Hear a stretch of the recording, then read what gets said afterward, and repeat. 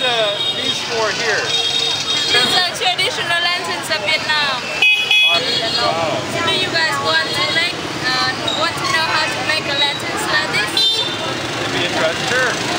Let's follow us to Hawaii Village to know how to make a lanterns like this. Oh, really? Yes. Okay. Like like Nằm cách Hà Nội 15 km về phía Tây, xã Vân Canh, Hoài Đức, Hà Nội vốn được biết đến với đặc sản cam canh. Tuy nhiên, sẽ là một thiếu sót lớn nếu như chúng ta không nhắc đến nghề làm đèn ông sao truyền thống tại nơi đây. Chào tất cả các bạn, hiện nay chúng tôi đang đứng ở làng Hậu Ái, xã Vân Canh, huyện Hoài Đức, Hà Nội. Nơi đây có gì đặc biệt? Các bạn hãy đi theo tôi nhé. nghe luật đấy Đây là nhà của chú Khôi và cô Tuyến, một gia đình duy nhất trong làng còn lưu giữ nghề làm đèn ông sao truyền thống cho đến ngày nay.